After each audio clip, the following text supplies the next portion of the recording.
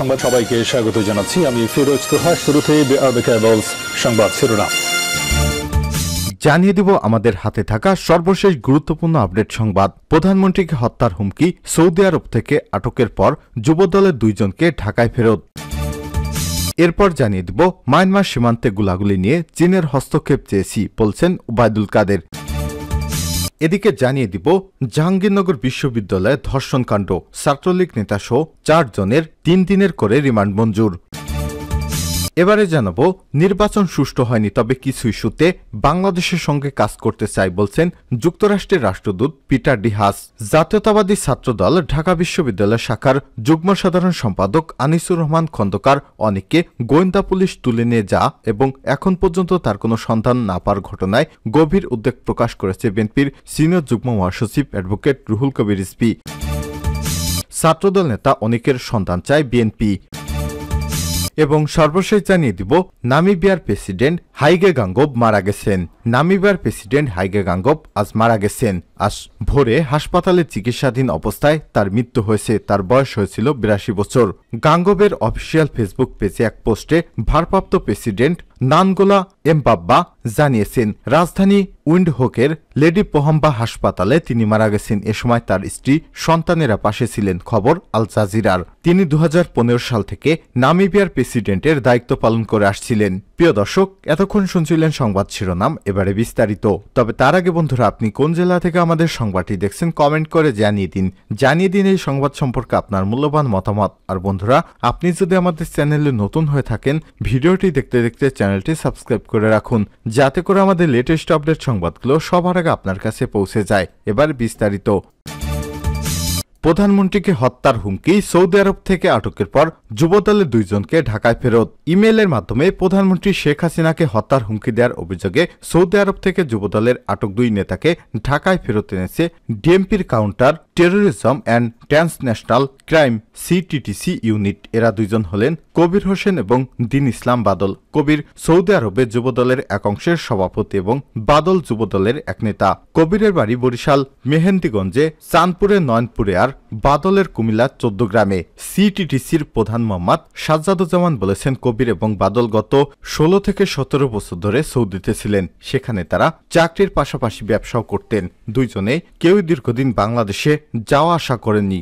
বাংলাদেশ পুলিশের পক্ষ থেকে ইন্টারপোলের মাধ্যমে যোগাযোগ করা হলে সৌদি পুলিশ কবির এবং বাদলকে আটক করে গত উনত্রিশে জানুয়ারি ঢাকায় ফেরত পাঠায়। ওই দিন শাহজালাল আন্তর্জাতিক বিমানবন্দর থেকে পুলিশ তাদেরকে গ্রেপ্তার করে বলে মোহাম্মদ আসাদুজ্জামান জানিয়েছেন, দুজনকে জিজ্ঞাসাবাদের বরাদ দিয়ে পুলিশ বলছে, কবিরের পরিকল্পনায় প্রধানমন্ত্রীকে হত্যার হুমকি দেওয়ার মেলটি বাদল পাঠিয়েছে এই ঘটনায় আর কেউ জড়িত কিনা তা খতিয়ে দেখছে সিটিটিসি কবির এবং বাদলের বিষয়ে বিস্তারিত জানাতে রোববার ঢাকা এক সংবাদ সম্মেলনে আসেন সিটিটিসির প্রধান মোহাম্মদ আসাদুজ্জামান। তিনি বলেন, গত সতেরোই এপ্রিল বিকাল পাঁচটার দিকে ঢাকা মহানগর পুলিশের মিডিয়া পাবলিক রিলেশনস বিভাগের ইমেইলে একটি হুমকি স্বরূপ বার্তা আসে। তাতে লেখা ছিল সেটির বাংলা করলে দাঁড়ায় সাতাশে এপ্রিল প্রধানমন্ত্রী শেখ হাসিনার ভোর চারটায় গুলি করা হবে এই হামলার প্রতিরোধ করার ক্ষমতা বাংলাদেশ পুলিশে নেই।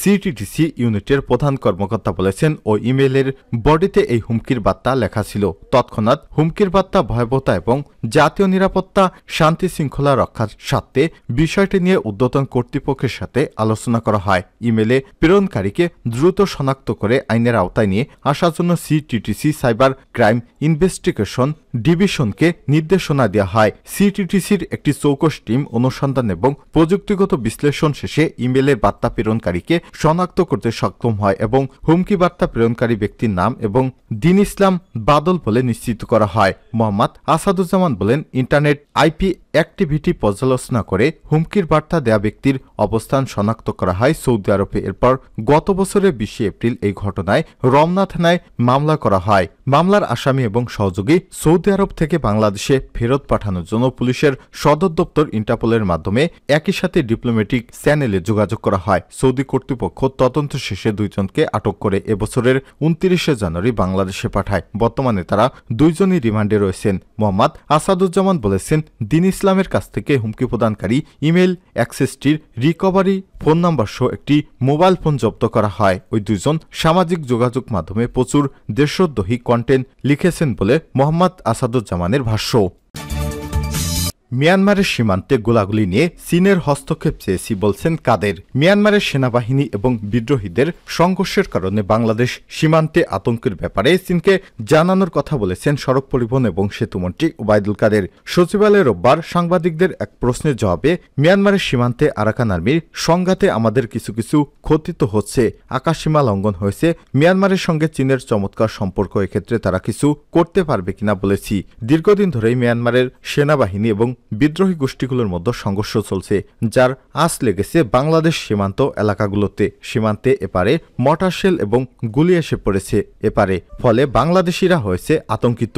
সর্বশেষ রোববার সকালে বান্দরবনের নাইখানসরি সীমান্তের ওপার থেকে সোরাগুলিতে দুই বাংলাদেশি আহত হয়েছেন। আগের মতোই মটার শেল এসে পড়ছে বাংলাদেশিদের ঘরে। এবারে একটি গুলি এসে লাগে অটোরিকশায়। এই পর্যন্ত মোট তিনজন আহত হয়েছে। এছাড়াও সীমান্তের ওই পার থেকে বিজিবির অন্তত চোদ্দ সদস্য রাতে পালিয়ে বাংলাদেশে আশ্রয় গ্রহণ করেছেন।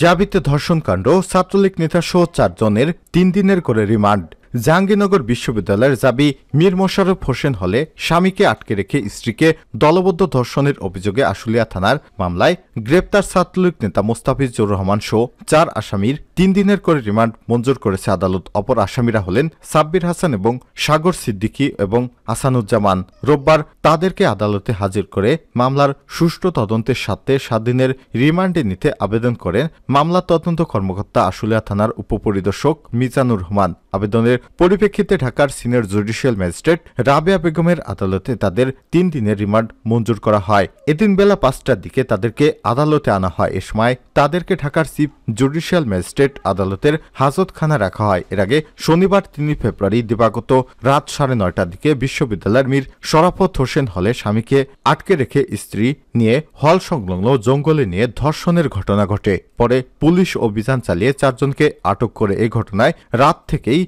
ক্যাম্পাসে উত্তেজনা বিরাজ করছে এ অবস্থায় জাহাঙ্গীরনগর বিশ্ববিদ্যালয়ে আমাদের প্রতিনিধিদের সর্বশেষ পাঠানো তথ্য অনুযায়ী সর্বশেষ ব্যাপক আন্দোলন চলছে। ছাত্রছাত্রীরা ক্লাস বর্জন করেছে। যতক্ষণ না পর্যন্ত ধর্ষকদের সাজানো হয়, ততক্ষণ পর্যন্ত তারা ক্লাস এবং ক্যাম্পাস বর্জনের সিদ্ধান্ত গ্রহণ করেছে। নির্বাচন সুষ্ঠু হয়নি, তবে কিছু ইস্যুতে একসঙ্গে কাজ করতে চাই বললেন পিটার হাস।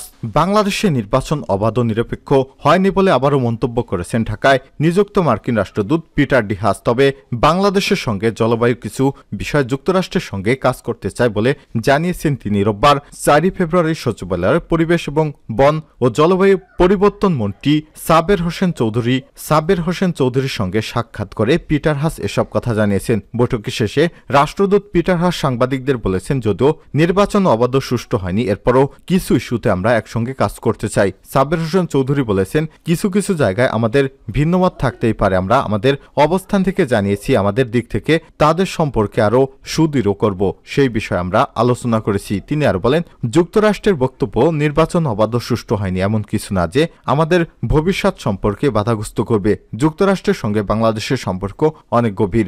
জলবায়ুর মোকাবিলা চ্যালেঞ্জিং, পনেরো বিলিয়ন ডলার ফান্ড গঠনে যুক্তরাষ্ট্র পার্টনার হিসেবে কাজ করবে।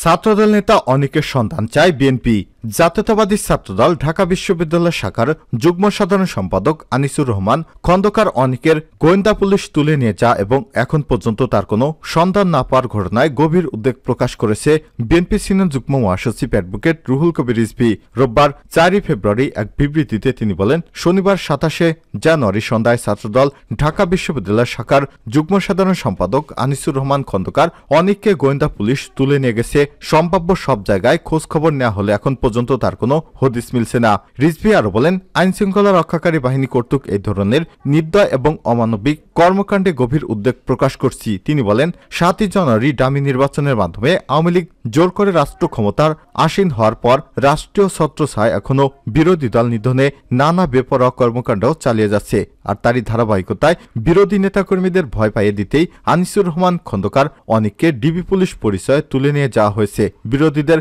মত প্রকাশের স্বাধীনতাকে সম্পূর্ণভাবে হরণ করতেই বিএনপি এবং এর অঙ্গ সহযোগী সংগঠনের নেতাকর্মীদের অদৃশ্য করা হচ্ছে। আনিসুর রহমান খন্দকার অনেক নিখোঁজ থাকার ঘটনায় তার পরিবার এবং বিএনপি নেতাকর্মীরা গভীরভাবে উদ্বিগ্ন।